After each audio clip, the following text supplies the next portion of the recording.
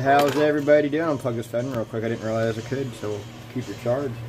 Go make some baits. My buddy wanted, uh, all right, I sold a bag of baits and I wasn't real happy with the, the color. They like, got darker. So we're to try it again. And uh, if they, they turn out the way I want them, we're probably just to send them to the, the dude for free. Won't even tell him. We'll just ship him out. Let him show up at his house. Like, what the hell? so what it is, is it's glow truce pepper. So, um, we're going to get some DOP chartreuse. Whoops. Remove some stuff with that. Going back to the first camera angle, just for, I like to switch it up a little bit. Got this one over here, that was the last video's angle. Move these molds, I was using hold it still, so I in my cabinet here. And, uh, remember what the hell I'm doing. Yeah, man. That, I don't, it might not be over there. I gotta find this stuff real quick. I don't even use it that much, so I don't know why it would. Somebody told it. No, there it is. Oh, it, was, it was, if it was a snake, it would have bit me in the face. Your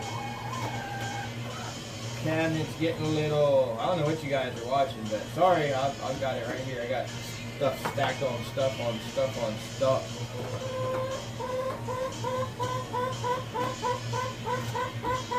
Trying to do more videos. Here we go. Boom. Ultra Green V. This stuff was not, it wasn't that expensive, but it wasn't that cheap either. Um, glows pretty good. I made these, uh, to half a cup. We're going to do it for about two and a half minutes.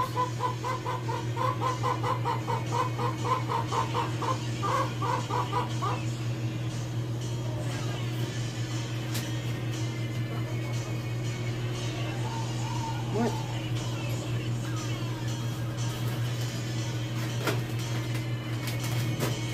Um, yeah, about two and a half minutes. And, uh, what was the other one? I was right the first time! Comes out, now this, this, I've never used any other kind of glow powder, but this stuff is heavy. Um, it's heavy. And like, you know, you put powder in and it floats, you gotta stir it. This stuff sinks straight through, so I'm assuming, you know, any amount is gonna make the paint heavier than it would normally be. Um, like I said, we're making the backups. We're just doing this pepper, so I don't need the rod inserts. Oh, we're also going to need 0.15. Yeah, I keep saying I don't do informational videos. 0.15 and 0.35 black glitter. I have both hex. Both are in hex. Hey, you guys be nice to each other.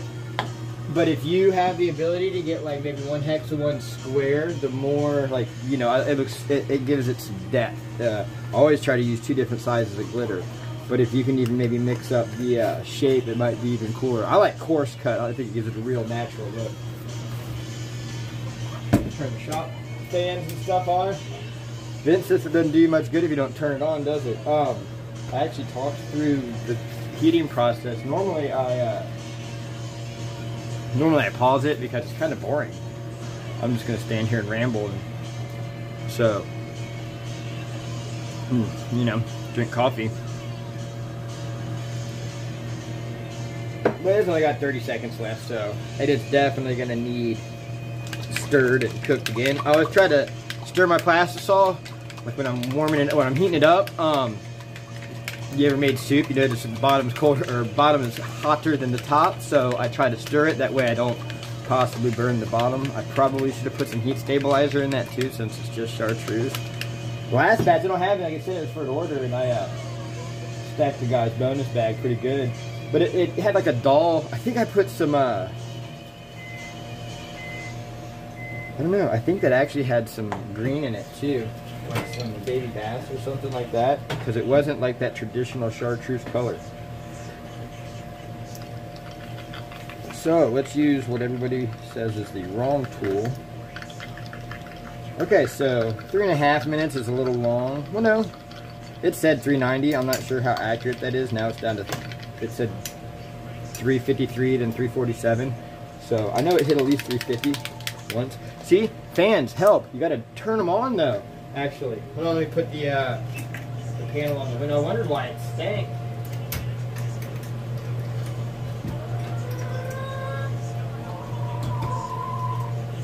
That's great. You got to get into the habit of doing that. Even if you got the equipment, if you don't turn it on, it doesn't do you no good. So we're gonna. Ah! Um. This is why I'm not wearing my new dead on hoodie because it probably already has shit on it. 3, 4, 5, 6, 7, 8, 9, 10, 11, 12, 13, 14, 15, 16, 17, 18, 19, 20, 21, 22. Why not 22? You gotta wait. There's like three chicken hawks out there earlier. I'm not just gonna open the door and let you go. Yeah, Daryl, you gotta put the other stuff in it first also. But let's see how that chartreuse looks because it's gonna darken when I put glitter in it.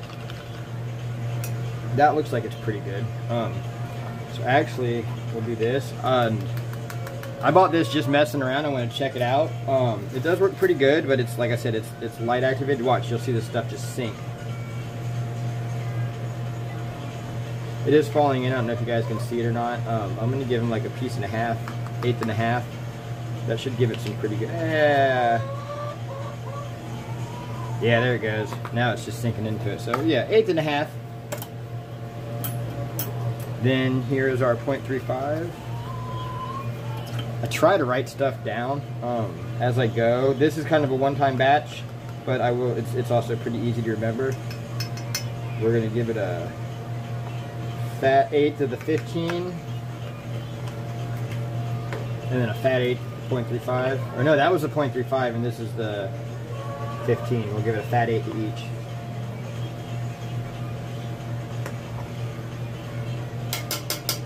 I always try to clean out my spoon by my fan because these little particles will get will get into your lungs.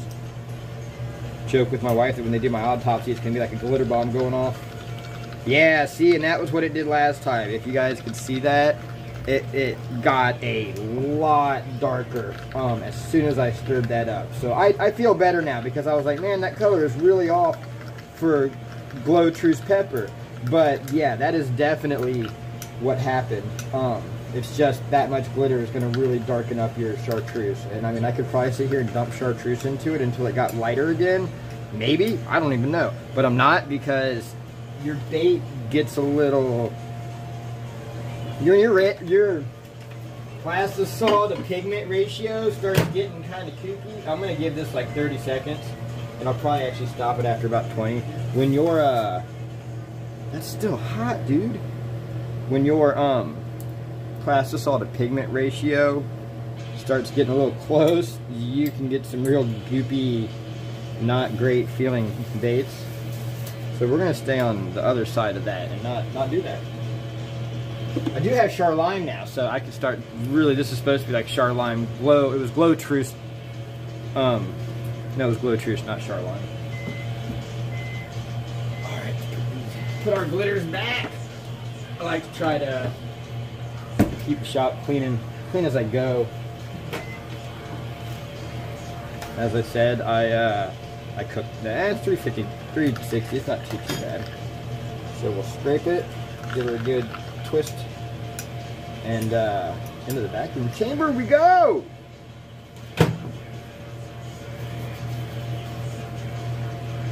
There are certain, I know the gloves, I need to do it all the time, but at least there are certain things that I absolutely do do, do do. Um, I put the gloves on before, like putting stuff into the vacuum chamber, taking stuff out of the vacuum chamber, um, handling hot molds and things like that.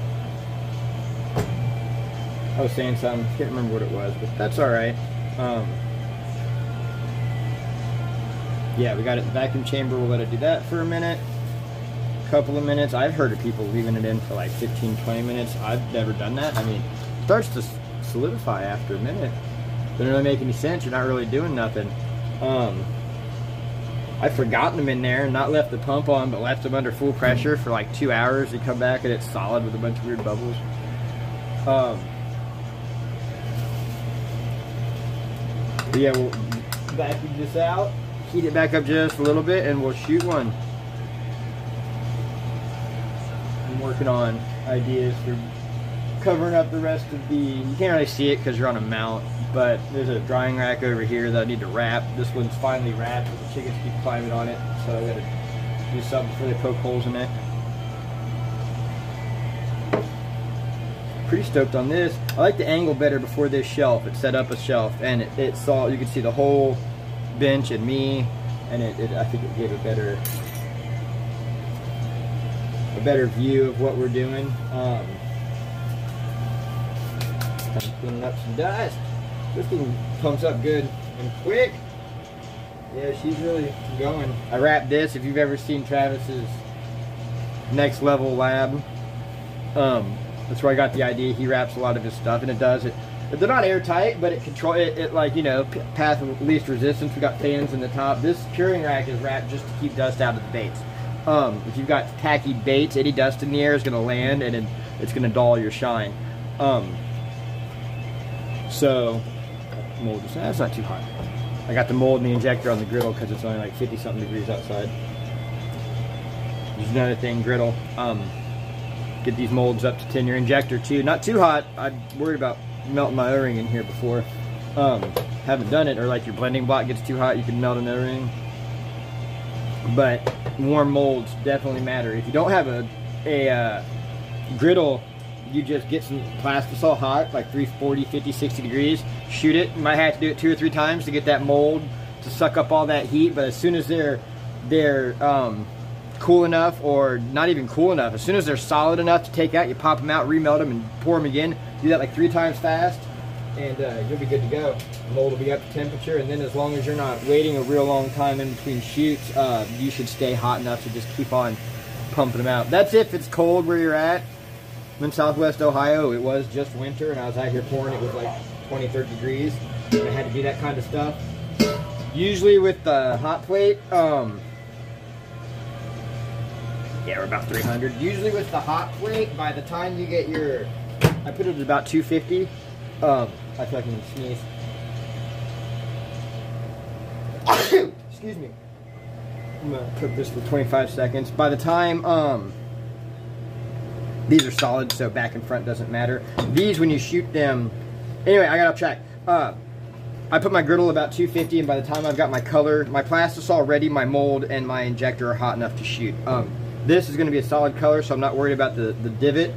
On this mold, though, because of the way it sits, if you want to do a laminate, you shoot your bodies and then you actually have to turn them so that one solid color is facing up and one's facing down and shoot your bellies. This is the 2 inch Epic backup.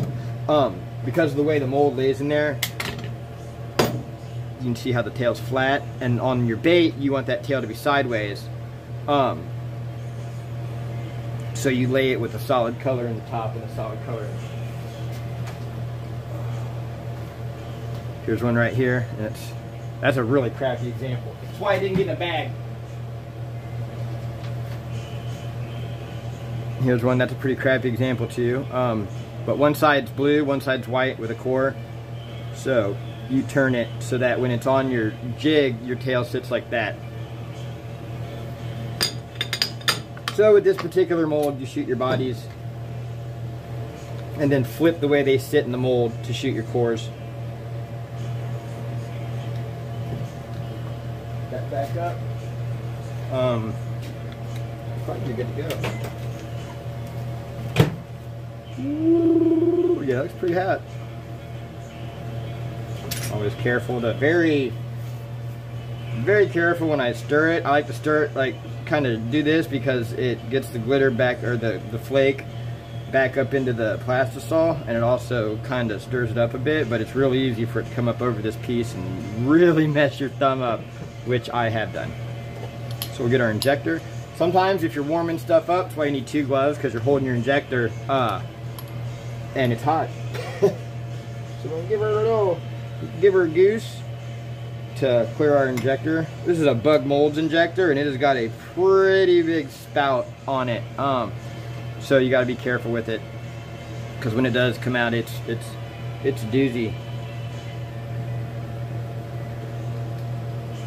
Alright, we're going to top off our sprue.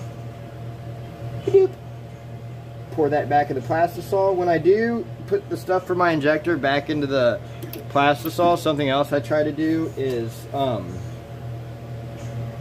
like shoot it onto the side so it runs down. That's hot. Um, I just stuck my finger in on accident. Shoot it into the side. If you go straight down into the middle, it's to churn it up and make bubbles, and then it's just to be harder for you to get good clean baits on your next shoot. Because obviously I'm not to degas this every single time I make a, a, a run. I'm to, you know, I'm to shoot this. I'm to take my rag and cover up my, my container, so or my cup, so it stays as warm as possible. Um, and then I'm to, as soon as this is cool enough to take out, I'm going to take them out and pop them up and shoot another batch. So I'm to pause it because it's to take a minute or two and we'll be right back.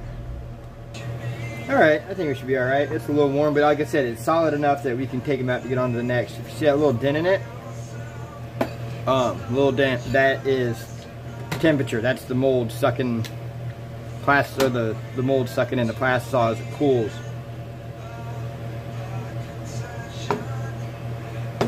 Get. That is glow glow truce pepper.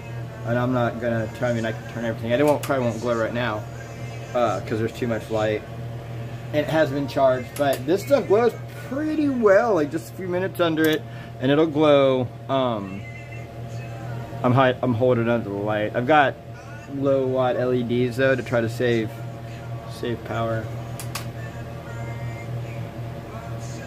yeah you guys aren't gonna get to see that at all whatever that's cool. Let me hang him up on the rack. And we'll shoot another one real quick.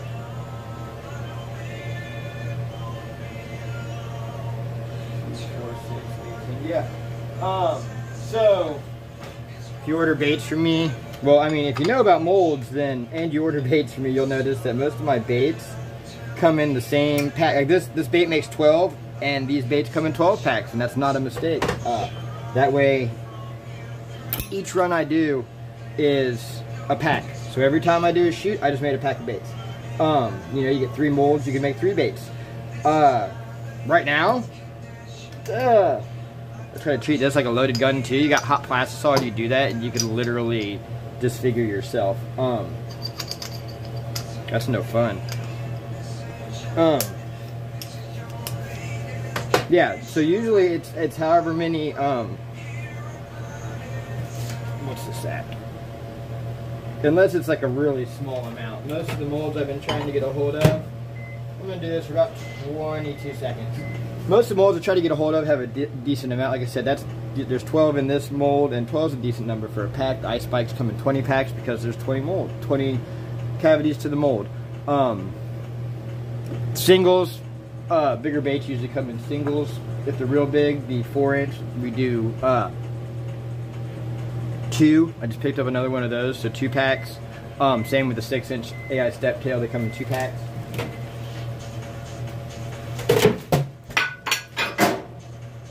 Wow. Um, sweet. So I just dropped that, and I didn't break my container, but man, am I glad I had clothes on, because this shit got all over me, bro. That's the first time I've ever done it, believe it or not. Not like I've been doing this my whole life. I've been doing it a year, and that's the first time I've ever dropped a cup, taking it out of the microwave. And that's a bummer because that color looks spot on, man. I'm really stoked on how that color turned out. Whoops! Let me get my cup. Where'd you go? Oh wow, way over here. Well, we still got a little bit left, guys. We're not totally out of the game. We're gonna, um, well, we're gonna peel this and heat it up and shoot another batch while the shit I just spilled all over the shop dries. And then we'll clean it up. Got these, so we'll cut them up and add them back into there. Um, yeah, no worries, man. Shit happens. Whatever. Nobody got hurt. That's the good thing. Chickens are all to the left of me, sitting in front of the door because I want to go outside. They weren't behind me or anything. Just caught some of it. Um, it did start to melt this though, which is a bummer because that's new. Um, but it's replaceable. Um, and it's clean, so we can remelt this. Peel this off and uh, throw it back in the pot, or the cup. Didn't break my cup, that's always a good bonus. This, on the other hand, that landed on the fiber is not clean. And will go in here to be scrapped. This kind of sucks. This is a uh, cover for, oh, it's coming off. It's a cover for the chicken coop, but it's like a weird UV protectant. And um, it, luckily it didn't burn it. It did make quite a mess on it though, so we'll clean that up later. Glove. Table. I, I try to, I know I keep saying I'll clean it up later. Uh, my chickens will get into this if I don't kind of do it now. So we're gonna heat this back up, probably about 35 seconds and see what it looks like.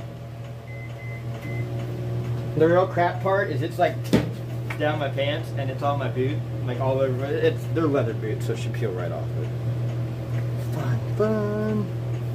I don't know about the pants there, man. Lisa might be a little mad about that. These aren't cheap, insulated. Oh, this will come off. In her washer.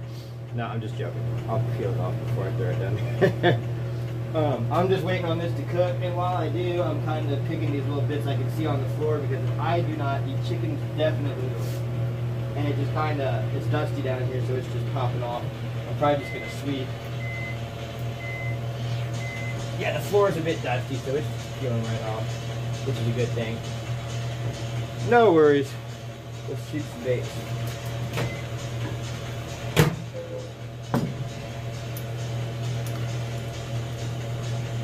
Another reason why you want to stir when you're reheating. Um, like I said, it, it, tends to heat from the bottom out. Yeah, you guys probably can't, but even when I clean this off because of that glow powder, it's got a grittiness to it, and you can actually hear it. It sounds like there's sand in there. Um, 20 seconds.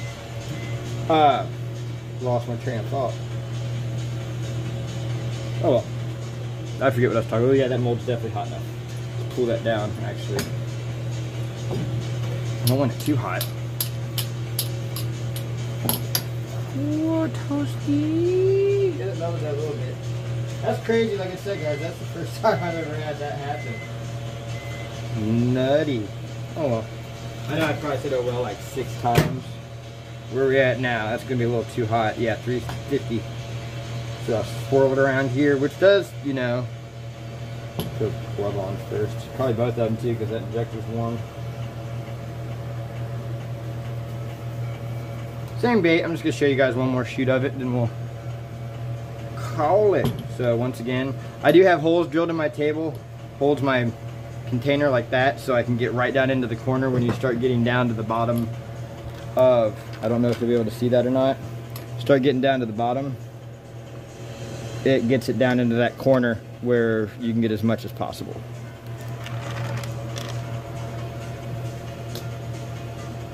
purged our injector. We'll take our shot. Hold pressure is a little hotter, so I'm going to hold it just a little bit longer than I probably normally would. Also, it's the only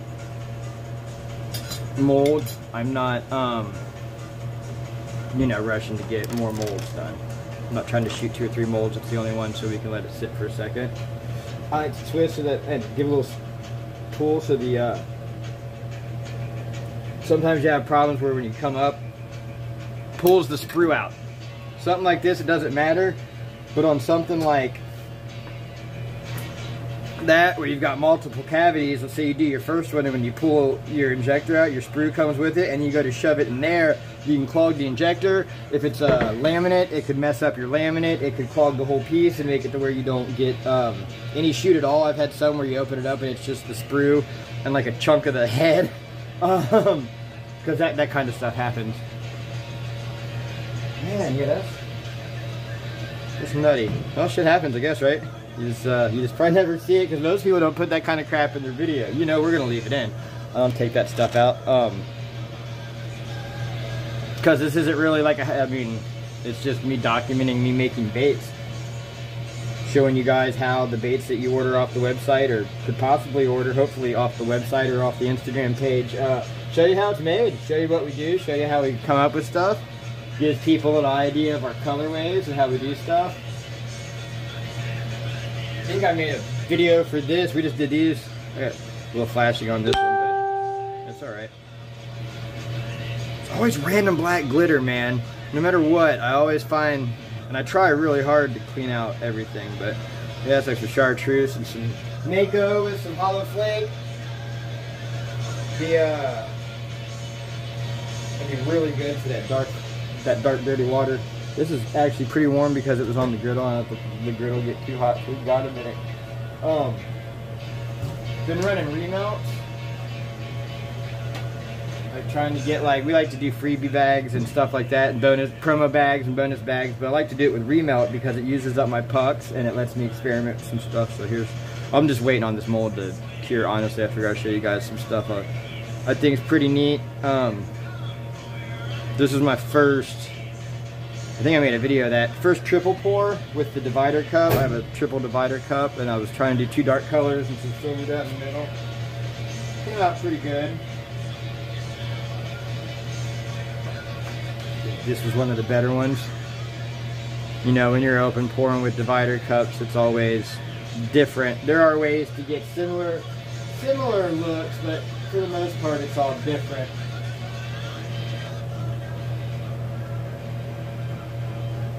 There we go. Um, that's still pretty hot. I think we'll be all right though. Open her up. Ding, ding, ding. I like this mold a lot. I said these are just solid because it's a glow truce, um, but they come with rods. Um, you stick your rod in like this. Yeah, I know what you guys are all thinking. Um, put your rod in there and it shoots the body. Just this this. And then take the rod out and shoot your core color a little hotter and it will give you the tail and the core. Um,